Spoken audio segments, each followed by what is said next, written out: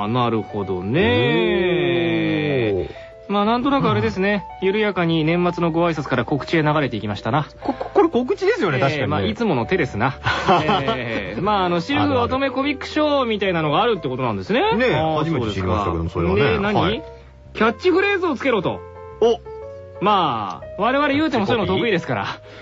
ね。そうっすね。今も数々のキャッチフレーズつけてきたもんな。はい。キャッチフレーズつけてきたもんな。キャッチフレーズ、キャッチフレーズ、チャッチャとつけてきたもんな。チャッチね。チャッチャとつけてきたんでね。まあ今回もチャッチャとつけていきましょう。でですね、ここに資料があるんでちょっとですね、読んでいきたいと思うんですけれども、シルフ、え乙女コミックショーの3大ポイントっていうのがあるそうで。うんポイントその1。はい、シルフで執筆中の先生が特別審査員を務めますと。えー、現在募集中の第2回審査員は岩崎さや先生。我らが岩崎さやですね。はい。で、さやに原稿を読んでもらえるチャンスだそうです。おそしてポイント2。応募締め切り後、2ヶ月後の発表と同時に入選作は即掲載スピード発表スピード掲載の即デビューシステムが特徴です。もうすごいですね、これね。すごいですね。で、ポイント3です。応募者全員にスペシャル評価シートをプレゼント。え今後の作品作りに生きるプロの編集者の意見がもらえますと。これすごく重要ですよね、やっぱりね。プロの意見っていうのはやっぱ聞いておくべきですからね。意見ももらいつつデビューもできる。ですなで、さあやに原稿も読んでもらえるということなんですけれども。いいことずくめじゃないですか。これですよ。もう絶対これ送った方がいいわけじゃないですか。そしたらもう送りたくなるようなキャッチフレーズをつけるべきです、やっぱりね。まあ例えばほら、まあ今この隣にいるメガネサッカー考えたぬるい感じだと、夢への第一歩。シルフ乙女コミックショーとかそういうことでしょって書いてあるんだけど。ボン もう読む時に笑っちゃったんですよ。よく、よくあるね、こういうの。こういうのでいいってことだよね。こういうのがいいってことなんですよ。こういうのがいいですよね。なんかありますかね？やったるわ。そうですよ。もう、やっぱり決めた方がいいですよね。目指せとか、やっぱりそういうのはやっぱりですよね。目指せ目指せシルフの星みたいな。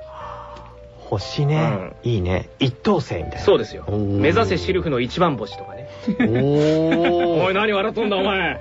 かっこいい。夢の第一歩とか考えたやつが何笑ってんだ、おい。なんだろうなまあ、どんどん言っていきますから。はい。こっからほらなんだろう。人気漫画家を作りたいみたいなことでしょ？そうです。そう考えると、もう先駆者なわけですよ。あ、そうすると、そう、君がシルフのフロンティアだみたいな。あ、僕もいいですか？あ、何？えっとですね。はい。え、これですか？これ読むんですか？はい。えー、デフレスパイラルを吹き飛ばせ コミックスパイラル 乙女コミックショー。それ、小野くん発信じゃない隣の人が、隣、小野くん発信じゃなくない？これ読むんですか？これこそ、コミック界の虎の穴だ シルフ乙女コミックショー。それで完全に昭和のセンスだよね。要チェックや、シルフ乙女コミックショー。ああ、それ言いそうだね。諦めたら、そこで、試合終了だよ。シルフ乙女コミックショー。それね、集英社に喧嘩売ってるからね、やめた方がいいよ。しまった。小野くんないの？なんか。え？ヒロインになるとき、それは今。シルフ乙女コミックショー。ハイバンドですって、今の。ヒーローになるときね。ああ、なんだろうな、なんだろうな。でもヒロインっていう単語はすごいいいと思います。うん。うん。うん。ヒロイン製造工場。ヒロインファクトリー。ヒロインファクトリー。ヒロインファクトリー。シルフ、乙女コミックショー。まあ確かにね、間違ってはいないけどね。どうですか？結構出ましたけれども。なんかいい感じに、ちょっとさ、作家の力を使ってさ、今まで出たやつのさ、で、こうまとめて、これはいいんじゃないのっていうのないの？で、この番組的にはこれでみたいな、ちょっと作ろうよ、一個。